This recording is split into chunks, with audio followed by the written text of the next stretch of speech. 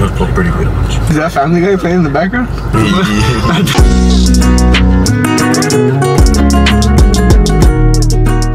What up guys? Aquí su compa César MP. Estoy acompañado aquí con el compa Miguel. We're on our way to Los Angeles to go pick up a new tololoche that my compa Checko has been working for like about, uh, it's gonna be a year and he finally finished it today. So I'm very excited to go pick that up and add that to the member, uh, the family of the tololoches that I have at home.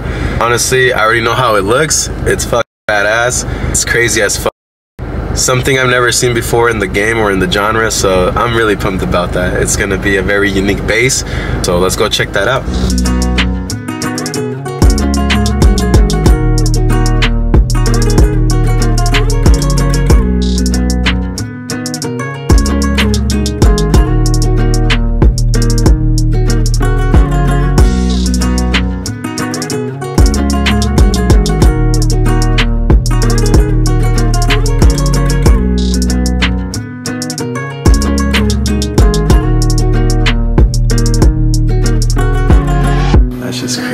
Chris gonna be stupid with, bro.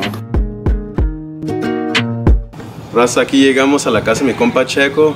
Resulta que me, que me dejó aquí este tolochón pasado de lanza, 100% recomendado. La rifó el viejo. Una herramienta muy bonita. Ahí para que miren estos detallitos tan hermosos que le puse aquí mi compa Checo. Hey, what's up, guys? This is uh, Checo Uh, from Checko's Basses. You can follow me on my personal page or my bass page. I'll put the links on there for you. And yeah, this thing took a while to do, but it was a lot of fun doing it and definitely worth the effort and time. You'll be seeing it some cool shows pretty soon. Gracias, viejo, por el detallazo aquí. 100% recomendado mi compa Checko, a Checko Basses on Instagram, ahí para que lo sigan, viejones.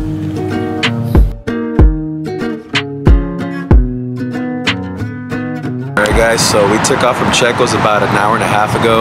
We took a little trip out here to In-N-Out, get something to grab, because we're kind of hungies.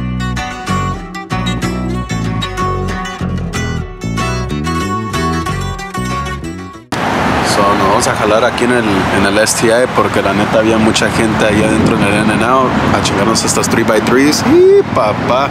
Ya después de esta comidita vamos a llegar a la casa y les voy a dar un review bien chingón del tololoche, enseñarles cada detallito del tololoche de mi compa.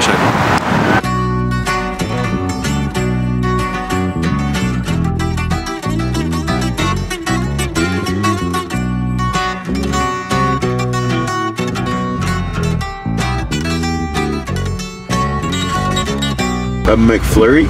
McFlurry? Yeah. You know what? Can you add a 10 piece chicken nugget? Barbecue.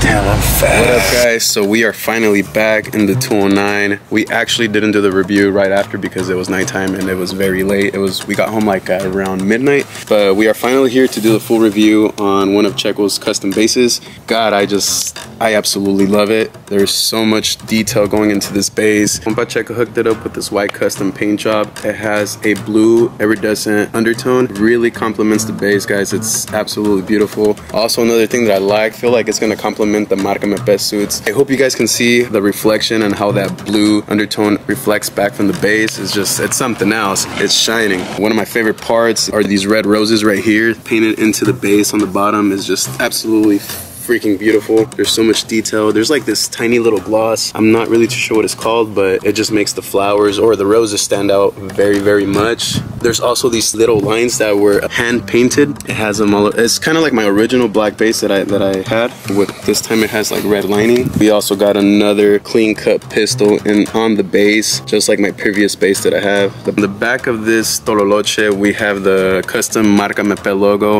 It has a very beautiful touch to it. This logo has like this type of marble-ish reflection. It just looks really dope, guys. I really wish you guys can see it in person, but it's out of this world. It's dope. All right, guys. So I have another detail that I want to show you guys, and this is one of the best parts of the bass. Built-in red LED inside of the bass. So right here, can dim down the lights. Different types of modes. Bring up the speed. Yeah, this was the last detail I wanted to show you guys. It's pretty dope.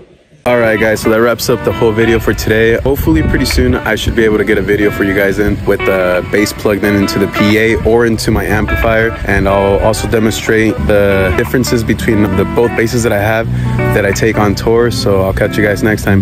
Take care.